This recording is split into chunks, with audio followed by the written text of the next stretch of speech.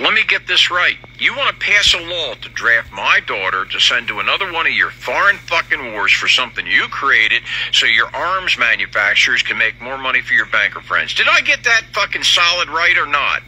Now, wrong, Elephant Breath. My daughter will not be joining the military any way, shape, or form unless it's to fight this fucking war that this government has started against its people. See how simple that is? The very fact that you don't understand the societal fucking rules about women and children, let me school you a little bit. Now, the fact of the matter is you can't make your fucking recruitment numbers because your recruiters told so many lies like, oh, yes, you get the condo on the beach when you join up. Oh, you get to start here, but we're going to switch you to what you really want later. And the biggest boner up the ass the VA will take care of you if you got hurt. Hey, the reason you can't meet the recruitment goals is because these young men have already voted with their fucking feet. They're not going to fucking fight. And the fact that you think you're going to get the women to fight, let me put it to you this way. It was one thing when you oppressed us with unbelievable fucking taxes. One thing, because we were living in nice homes and still eating pretty good. It's another thing when you spied on us to the degree that you did and made us realize that we don't have any freedom. It's another thing when you not only wrecked the fucking economy, but you fucking did it in such a way where you spent so much fucking money that went to special interest groups that the people never had a chance to benefit from it. And now, when you have people that are homeless eating canned goods out of the back of their fucking car, you know what? They may do that for themselves, but they're not. Their kids are not going to go through that. Motherfucker, you're going to find out what people will do for their fucking children. You protect women and children because it's a societal norm. It has nothing to do with being sexist or unequal in any way. The fact is, you should always protect people that are weak of themselves and always stand up for the right fucking thing. And the right fucking thing here is if my daughter is going to be in a war, she's not going to have to go to a fucking foreign country to fight it. Fuck your taxes, fuck your withholding, fuck your FEMA, fuck your IRS, fuck you, fuck your corrupt Congress, fuck your corrupt presidents, fuck your entire election process. You know, I could go on forever, but let's face it, the world's not going to live that long before a fucking meteor solves a problem for us. So, fuck you. And if anybody doesn't like what I'm saying, you know what you can do. If you do like what I'm saying, give me a hell yeah in the comments because our women aren't going to fight a fucking war for some corrupt fucking government. I want to give all praise, honor, and glory to the Heavenly Father and His Son Yahweh, by Hashem Yahushua, by Hashem Kakwadash. Double honors to my apostle elders, great millstone of well, peace and salutation, all the Akim pushing this truth for the righteousness and sincerity. Shalom, shalom. This your brother Tata Bar coming back through the spirit and power of Yahweh Bashem Yahushua. And I just want to do a real brief lesson, just showing you that Babylon agree is falling, man. This place is done. Everything you see around you is falling before your eyes. The people are waking up to the bullshit. They're seeing that this government's corrupt and they're seeing what the hell does the roads lead to, man. And it's leading to destruction. This Isaiah chapter 47, verse 1. Come down and sit in the dust, O virgin daughter of Babylon. And that represents America. The dust represents state of confusion, what you're seeing going around Babylon the Great, man. It says, sit on the ground, there is no throne. Why? Because you're being Esau, Edom, the Edomites, what you see before you, they're being dethroned. America's being dethroned, man. All the nations are casting this place down. And it's really just the Lord just doing what? Putting a transition of power that's taking place. It says, it says, "Oh, daughter of the Chaldeans." Why? Because all the witchcraft and all the sorcery goes back to Babylon. The Chaldeans are witches, your warlocks, your so-called Freemasons, your the ones as political leaders that set up in offices now. They work for the the the, the globalists. They're the ones behind the scenes that's orchestrating what you see before you, all these wars and things like that. They're the ones behind the scenes. And it says, "For thou." Thou shalt no more be called tender and delicate. Why? Because you're seeing that America is about to be drafted into another war and he's complaining about his daughter getting drafted, which is going to happen. But at the same time, you got foreign troops on the land of Babylon the Great with this Title 42 exodus, with this Title 42 expiring. Now you're seeing an influx of so-called immigrants, which we already know that's just the UN nations coming in America. That's nothing but a siege. That's the Trojan horse. It says, take the millstone, gird the mill, uncover the locks, make bare the leg, uncover the thigh, pass over the rivers. And that's what we're doing, man. We're exposing America for all the wickedness that it's been upholding and doing for a long time, man. And you see that now. That's what you see going on right now, man. Mama, that, yes. And it says, It says, Thy nakedness shall be uncovered, thy shame shall be seen. I will take vengeance and I will not meet that as a man. Because what is happening right now, the Lord is, is gotten the spirit on these damn Edomites and other nations to expose America for what it is. It, even with the prophets on the highways and hedges, we use these video clips and things like that for edification purposes to show you that the prophecies are being fulfilled before your eyes and that the Lord, what did the Lord say? He's going to take vengeance and not meet you as a man. Because while the Lord is, he's watching this place, man. Zechariah, the fifth chapter, the curse uh, that goes for the house of the thief. That's the chariots. The chariots, the so-called UFOs, are watching this place. there, and they're they're they're showing the the uh, what's about to take place because it's the Lord, man. Let's grab this real quick.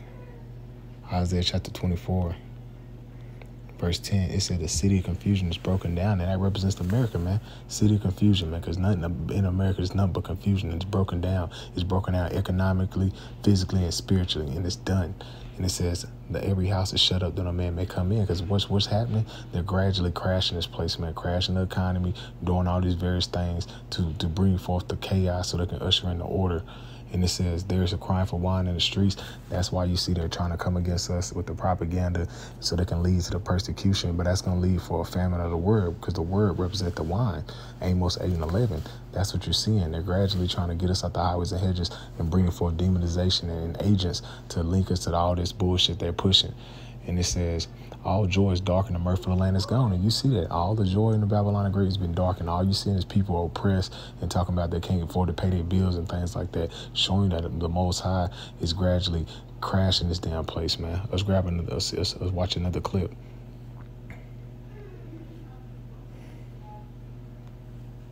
I'm sick and tired of people portraying an image like this is the greatest country of all time and that we will never fall. I'm here to tell you, listen to what I'm fixing to say because America itself, aka Babylon, is fixing to fall. But Ryan, we have more guns in this country than actual people. We'll never fall. You mean the same country where people are working three, four jobs and working 100 hours a week to not even get by anymore? They're damn near next to homeless. Oh, you talking about that country where everybody's on some type of medication. You can't even turn your TV on without seeing a commercial of some type of medication being shoved down your throat. You talking about this country? Not to mention this country's so full of hate now. You've got men hating women and women hating men and the black man hating the white man and the white man hating the black man. There's nonstop hate. The government knows which that's just the Esau hating Jacob, man, and that's just biblical, man, in which he don't understand. You gotta take the meat out of the bones when you watch videos like this. That united we stand, divided we fall, and right now we are beyond divided. I call it the three Ds: distract them, you drug them, and you divide them, and the whole country's over with.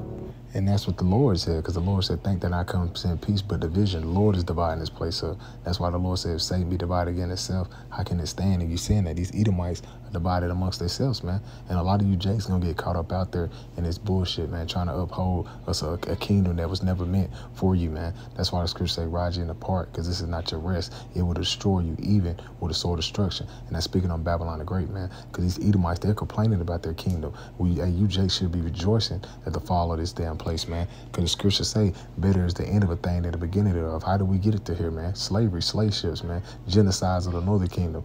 Why the hell would you want to uphold a society that was ne never meant for you and beneficial for your nation, man? Fuck this place, man. But Ryan, how is America going to fall? Pay attention. You infiltrate their country with quote unquote illegal immigrants thousands, if not millions of them, and you place them strategically all throughout the United States when in reality, they're United Nations troops waiting on an order. You label them on the news as illegal immigrants so that nobody in their country freaks out when they realize there's a whole nother military in our country right now. And then they create a major event such as a government bombing at one of our cities or saying that somebody's attacking us. And then they're going to round up our military and deploy them to another country not to mention, they're going to create a draft and round up every last patriot they can find who would swear to protect this country and everyone in it, and they're going to deploy them to another country. Once they do this, it's easy breezy. They deploy the United Nations troops to go door to door, such as they done in the 1940s, and all throughout generations, governments have always destroyed their own people. They know. And he's right. And he's right, man. And that's what they're going to do, man. Let's jump straight into it. The second Acts chapter 15 Verse 14, Woe to the world and them that dwell therein. And woe means destruction. Destruction has come from the shores of Babylon the Great. The scriptures say they should go to the unwild villages that dwell without care. That's speaking on America, man, because no, there's no borders.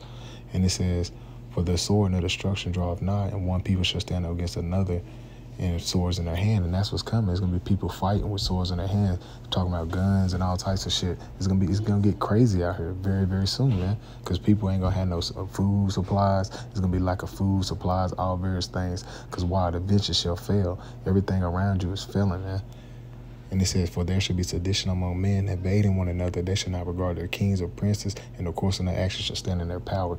And that's what's going to take place. People are going to be putting the power in their own hands, but they ain't going to give a damn about their, their, presidents or political leaders and governors and mayors and shit. They're going to be trying to get it out the mud to feed their families, man. And that's what's going to see the uproars, the chaos, the protests, the riots, all these various things you see what's going on in other nations. That's coming here, but it's going to be worse, man. Because America, all these damn citizens and people, they have guns, and that's going to create nothing but bloodshed.